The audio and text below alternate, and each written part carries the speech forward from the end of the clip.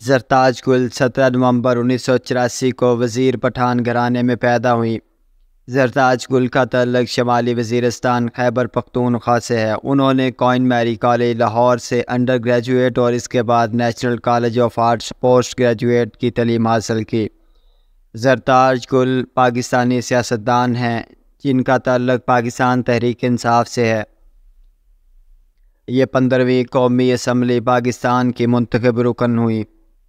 जरताज गुल अपनी तालीम मुकम्मल करने के बाद पाकिस्तान तहरीक इंसाफ में शामिल हो गई और 2005 में इंसाफ स्टूडेंट फॉर्म्स के साथ रजाकार बनी। जरताज गुल 2010 में शादी के बाद डेरा गाजी खां मुंतकिल हो गई। जरताज गुल ने 2013 के आम इंतबात में हल्का एन ए एक सौ बहत्तर डेरा गाजी खां से पी टी आई के उम्मीदवार की हैसियत से पाकिस्तान की कौमी असम्बली की नशस्त के लिए इंतबात लड़ी, लेकिन वो नाकाम नहीं उन्होंने अठतीस हज़ार छः सौ तैंतालीस वोट हासिल किए और ये नशीस हाफज अब्दुल करीम से हार गई। जरताज गुल पाकिस्तान के आम इंतबात दो हज़ार अठारह में हल्का एन एक सौ इक्यानवे, डेरा गाजी खान से पाकिस्तान तहरीक इंसाफ की उम्मीदवार थी। इन्होंने उनवासी हज़ार आठ सौ सत्रह वोट हासिल करके ये नशस्त जीती।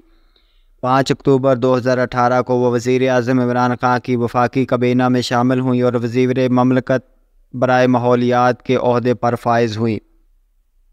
मार्च 2022 के दौरान पी टी आई हुकूमत के ख़िलाफ़ रजीम चेंज के अमेरिकी साजिश के बाद जब इमरान खान के ख़िलाफ़ तहरीक कदम अतमाद कामयाब हो गई तो इसके बाद वज़ी अजम इमरान खान की काबीना और पी टी आई अरकान असम्बली ने इजमाही तौर पर इस्तीफ़े देने का फ़ैसला किया, जिसके बाद दस अप्रैल दो हज़ार बाईस को जरताज गुल ने भी इस्तीफ़ा दे दिया।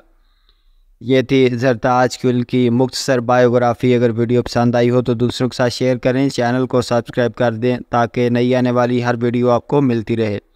मिलेंगे एक नई इंटरेस्टिंग वीडियो के साथ। तब तक के लिए इजाज़त चाहूँगा। अल्लाह हाफिज़।